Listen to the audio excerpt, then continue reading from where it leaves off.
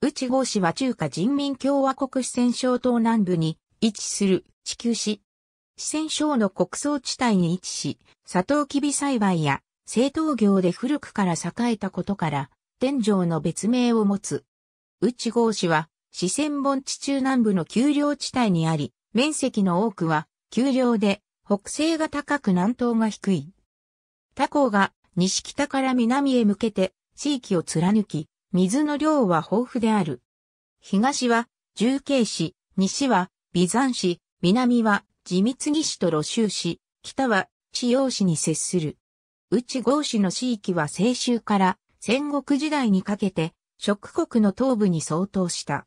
秦による中国統一後は食軍となった。前漢の武帝の県元6年には、市中県が置かれ、五漢の順帝の時期には、市中県から現在のうち、甲付近の地域が分かれ、漢王朝の治世が長く続くことを願い、男安県と名付けられた。これが、内郷の初期の名称となっている。567年、北州は男安県を改名し、中水の岸にあることから、中江県とした。581年には、隋の文帝が父、楊正の意味名を避けるために中水という地名を改めることにし、県城が川に取り囲まれていることから内郷県とした。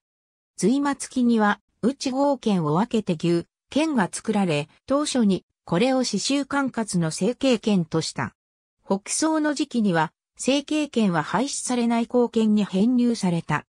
現代には、内郷県の人口が激減したため内貢献は廃止されたが、民発に復活した。内郷県は、刺繍の管轄の県として、清末期を迎える。1935年には、刺繍は第二行政正し殺区に解消され、中華人民共和国成立後は、市中選区となった。1950年に、市中の船員公所は、内郷に移り内向選区と改名し、内郷、市中、市美、関陽、忍樹、伊縁などの県を管轄下に置いた。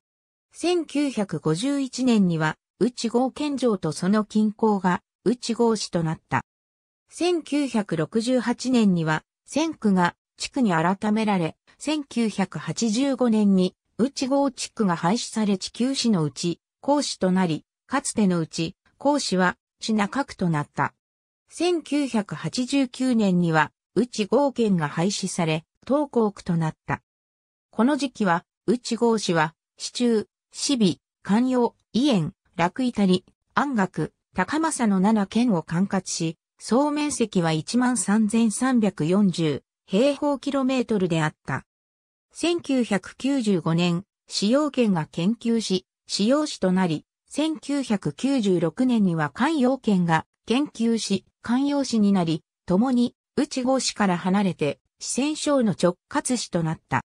1998年2月には、国務院による行政区画調整で市美、関陽、楽板里、安楽の4県市が分離し、使用地区となり、内郷市は現在の範囲になった。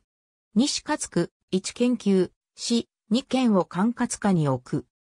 市中選区川南行職内校、選区川南行職高政選区市選省、高政選区市選省内校地区内校式校は、温和で雨量が多く、土地も肥沃であり、国葬地帯となっている。佐藤きび、朝、豚、養蚕などの農業が盛んで、特に中国でも有料な内豪茶の産地である。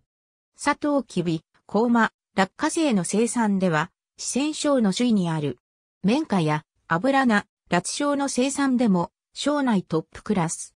市中区と東港区の野菜栽培、市中県の美は、伊塩県のレモンなども特筆すべき農産物。また、中国における製糖業の重要な中心である。河川や池などでは、魚の養殖が行われ、水鳥の類も多く飼育されており、高政県は国家給水金基地、東港区と市中県は小給水金基地に指定されている。工業は、建材、機械、軽工業、化学が4大主要産業。工業では、石炭、天然ガス、石灰石、石英を産出する。内郷には多くの観光名所がある。旧跡では、仏教の聖地、西林古刹、川中第一前輪と呼ばれる、清水寺など。博物館では、内郷出身の画家、長大戦を記念する長大戦記念館、湯土香林大将軍記念館など。自然では、四川長江森林公園、川中林会と呼ばれる、白雲山、重達山、古湖、船石湖。その他、古い町並みの残る、新代一街、三元島、工事島などがある。ありがとうございます。